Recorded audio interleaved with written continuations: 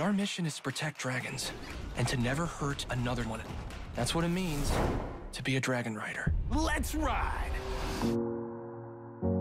Divulgaram o trailer da segunda temporada de Dragons The Nine Realms. Pessoal, muita gente veio me mandar no Discord e nos comentários falando que o novo trailer tava muito legal, por isso eu resolvi assistir e confesso que eu fiquei surpreso. Meio que a DreamWorks enlouqueceu e tá apostando muito nessa série. Quem ainda não viu, eu vou deixar o link na descrição para quem quiser, mas basicamente nessa nova temporada nós vamos ter novos dragões. Inclusive, além das novas espécies que vão aparecer, é possível ver também a volta de algumas espécies da franquia original. Sendo assim, no vídeo de hoje eu vou analisar o trailer junto com vocês e comentar um pouco sobre o futuro da série Os Nove Reinos. Para quem não me conhece, eu sou o Lucas e agora sem mais enrolação, vamos começar.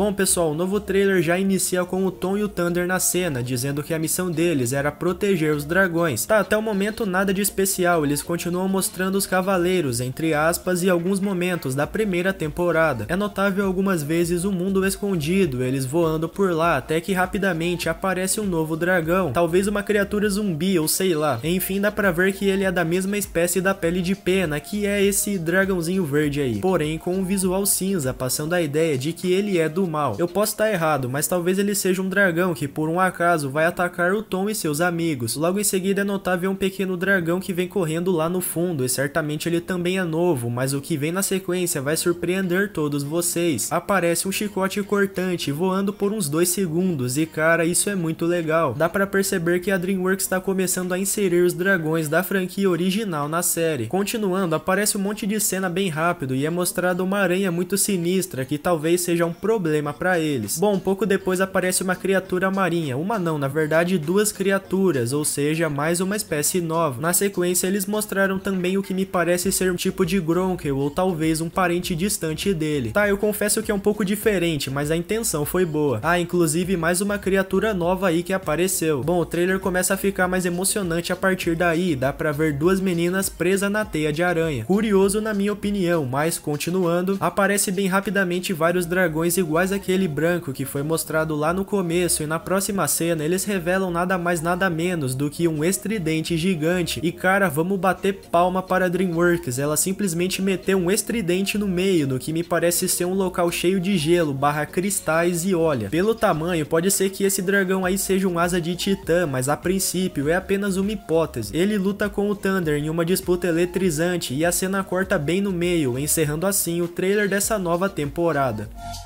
Pessoal, basicamente foi isso. Essa pequena demonstração revelou um pouco do que está prestes a ver. Agora eu vou dar minha opinião, né? Falar o que eu achei desse novo trailer. Olha, sinceramente eu achei bem legal. Na verdade eu fiquei surpreso porque eles incluíram muito dragão novo e ainda trouxeram de volta algumas espécies da franquia original. Isso abre portas para muita teoria, que inclusive eu vou comentar sobre isso depois. Mas na minha visão, essa nova história tem tudo para ficar boa e eles estão trabalhando nisso. Meio que a volta desses dragões e a inclusão de outros vai fortalecendo a série, igual Corrida até o Limite, que abriu portas para um universo cheio de espécies. Dessa forma, a série The Nine Realms também vai começar a fazer isso, explorando os dragões da nova geração, criaturas que foram surgindo a partir das espécies que nós já conhecemos. Embora muita gente não tenha gostado, esse trailer da segunda temporada veio cheio de coisa interessante e mais uma vez eu falo para vocês que a série vai ficar boa. Portanto, não vamos ter o Soluço, a Ilha de Berk e todos aqueles personagens personagens que nós conhecemos. Porém, não custa nada dar uma chance, né? Aliás, querendo ou não, a série Os Nove Reinos faz parte desse universo, tanto quanto Corrida até o Limite e as outras séries que já existem. Basicamente é isso que eu acho sobre a nova temporada e resumindo, eu gostei do que eles apresentaram e vou gastar uma ficha em relação a isso. Até porque, como eu já falei, a série tem tudo para ficar boa, então não custa nada assistir e entender um pouco a história, como tudo evoluiu e ainda mais agora que eles introduziram as espécies da franquia original